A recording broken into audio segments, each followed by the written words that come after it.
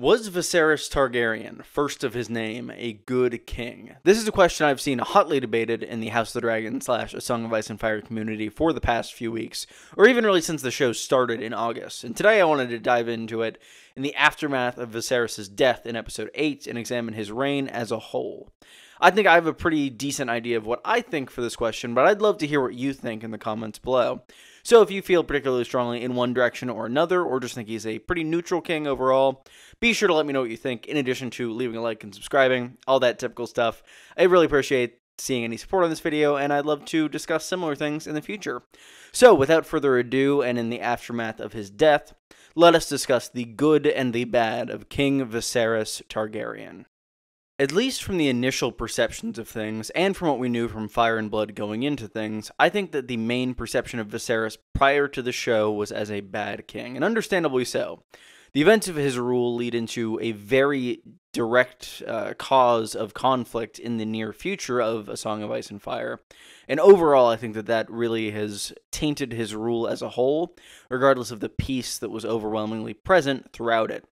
However, I do think that overall House of Dragon has given us a better perspective on the reign as a whole. Viserys has had many blunders throughout his reign, some of which are pointed out in the very first episode. In the big confrontation scene in the throne room, Daemon says to his brother that Viserys is controlled by those around him, the leeches in his council that will essentially contort him whichever way they please in order to gain some advantage for their house or their station. Overall, I agree with Daemon in this capacity. However, I don't think that Viserys is an entirely inept ruler. Frankly, considering all of the people we've seen as rulers in the Song of Ice and Fire universe between Game of Thrones and House of the Dragon, I think Viserys is probably in the top two kings we have seen as king on screen. He's probably tied with Bobby B, Robert Baratheon. And I think the two of them share a lot of similarities, in addition to dying in their first season. Uh, I think that they're both very much ruled by the people around them. In Robert's case, due to kind of lack of interest in the position, and in Viserys's case, due to the kind of ineptitude general to him and just wanting to please everyone. I think there are a lot of interesting comparisons to be made between both of these characters. I think that the main thing that makes Robert better and has his era as more peaceful and more well remembered is the fact that Jon Arryn was his hand for so long. Jon Arryn was a smart, politically savvy guy who was able to run the realm in Robert's stead while Robert was doing whatever he wanted. Viserys, on the other hand, had two different hands. He had Otto Hightower, who was blatantly self interested in attempting to advance the station of his own house at any given turn, at the cost of all other elements of his rule.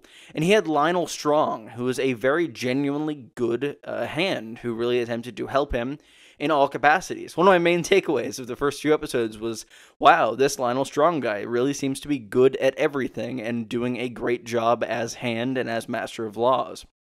However, the main bad part of Viserys is the fact that Lyonel Strong does not stick around forever.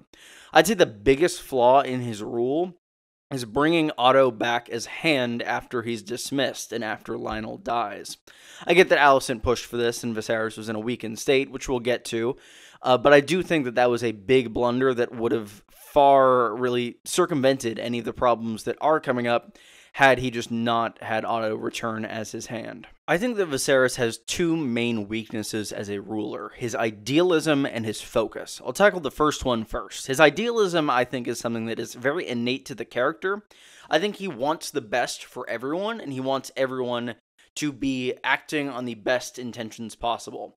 We see throughout the show that he is very kind of forgiving throughout and generally wants to assume the best of people, which is a great trait for a person. I do think that in a lot of regards, Viserys seems like a pretty great guy. However, that trait is a not a good one in a king. People are often trying to take advantage of rulers, and he does not really see that. It takes him forever to find out that Otto is actively attempting to put Aegon on the throne, despite Otto essentially acting as though that was the case since episode 3. It takes Rhaenyra threatening to essentially not marry Laenor and go off and do her own thing in order to, for Viserys to take any action whatsoever on that. In addition to this, I think his focus is another great flaw of Viserys' character. What exactly do I mean by his focus? I mean his focus on the prophecy, on the Song of Ice and Fire, which, I mean, I'm focused on the Song of Ice and Fire too. I'm sure if you're watching this, I am as well. But that is not the key to his rule. He doesn't know that it's 170 years in the future that this prophecy is going to come true or not come true. But he's so hyper focused on it that he is willing to let anything happen. He is trying to keep as much peace in the short term just in case it is going to come true tomorrow. He needs to have peace right now in order to maintain the status quo and keep a Targaryen on the throne in case the great winter comes. And this short sightedness leads him to making a lot of negative decisions in the interest of peace in the short term. This is something that's added new to the show. We don't know about the prophecy in the book, and I don't think that that was really intended to be an element of Viserys' character specifically in the book. But I think it's a fantastic change, and I think it marks a great adaptation, and Ryan Condal really doing a fantastic job with it overall. I also think that Viserys tended to kind of play the middle lane a bit too much. He was kind of too beholden to those around him. I think one of the best things we see in his final episode is him finally asserting himself as a king when Vaemond makes his claim about Driftmark. Uh, however, that was very much a bit too little too late in that he's kind of beholden to everyone around him for quite a while, and because of this, everyone feels entitled to things like marriage alliances and his uh, general advice and being able to advise him. I think that has greatly kind of hampered his abilities in the long run and could be a very high contributing factor to the reason why he's not as great of a king as some of his predecessors. I think that this is something that Robert Baratheon definitely has over Viserys, in that he does not really seem beholden to ever anyone or really interested in much anything to do with the kingship other than tourneys that he can organize. But yeah, I think that out of the kings we've seen on screen, I would probably rank it Robert Baratheon, followed by uh, Viserys, followed by either Cersei or Tommen, depending on how I'm feeling that day, followed by Joffrey. I hadn't realized how few kings we'd seen on screen, but yeah, it's really not that many, and I, am excited to see a few more in the near future, as it seems this show is going to be doing. I also think there's another really interesting parallel between Robert Baratheon and Viserys. Both of their final acts are attempting to bridge an insurmountable conflict with a final act of peace. With Robert Baratheon, he signs this paper saying that Ned is going to be protector of the realm until his son comes of age. With Viserys, he names Luke the heir to Driftmark and has this great dinner with all of his family, and it's a very happy occasion until he leaves. In both of these cases, you get a moment where it seems as though everything is going to be peaceful and work out. However, we never quite get there. We get kind of thwarted in both cases. In Robert's case, by the Lannisters, and in this case, by Alicent's misinterpreting of the prophecy. None of this is to say that Viserys is without his good moments as king. I think he's got a few great moments, particularly in episode 5, I think it was. I really liked his diplomacy with the Velaryons. I loved that he came to the compromise that, yeah, their sons can be Velaryons until they sit the Iron Throne, at which time they are Targaryens.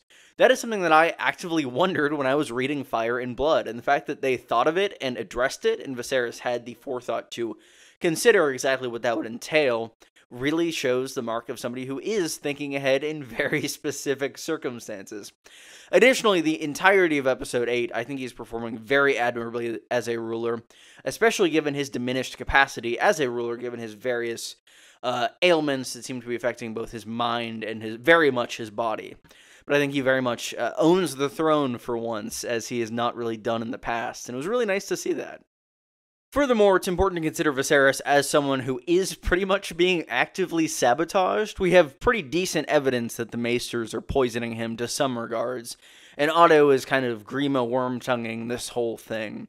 So, to a degree, some of the faults that have uh, erupted in the aftermath of Viserys' rule are not necessarily his fault. In addition to that, the fact that succession was going to be an issue is not something that just came about in Viserys' rule. I'd say the roots of this upcoming conflict go as far back as the Great Council of 101, that first scene of this entire series. That being Jaehaerys picking Viserys as his heir over Rhaenys. I think that that precedent is just a recipe for disaster in terms of the general rule of Westeros. No matter which way it's made, I think it's just difficult to have a situation like that. And I think that was really the main thing that cemented the war as entirely happening rather than just Viserys' rule. So was Viserys a good king? I wouldn't go that far. I've seen a fair few King of Westeros tier lists that have been made prior to this series airing, and I don't think that Viserys deserves the F or D tier that he often receives. More accurately, I believe Viserys deserves a C or maybe even a B tier based on the show's portrayal. He was not a good king by any means, but I do think that he is actively being hampered by both everyone around him and his own sense of morality. And I think, given both of those things, I think he does an excellent job with what he had to work with. I don't think that his uh, conflict was necessarily able to be prevented, or at least it would have been very difficult to do so. And I think that he does get a bit too much flack generally overall. But I do think that some of that flack is deserved, particularly in the decision making and trying to appease everyone department. But yeah, I'd say pro- solid middle of the pack king overall. What did you think of Viserys' time on the Iron Throne? Do you think he was a good king, a bad king, somewhere in between? Do you agree with my assessment, or is there anything that I've missed or not brought up in my time discussing it? I'd love to hear your thoughts, and I'd also love to see you subscribe and like the video. I'd really appreciate that. Uh, I love growing this channel, and I really enjoy making videos about House of the Dragon, and among very many other things. And I'd really appreciate any help with that whatsoever. So yeah, thank you all for watching. I hope you have a good day, and I'm really looking forward to this new episode coming out on Sunday. As it like looks like it's just going to be all of the greens all of the time, and that sounds like a fantastic train wreck to watch. I hope you all watch it. I'll have a video out on it as soon as it's done. Fabulous. She's serving Targaryen realness.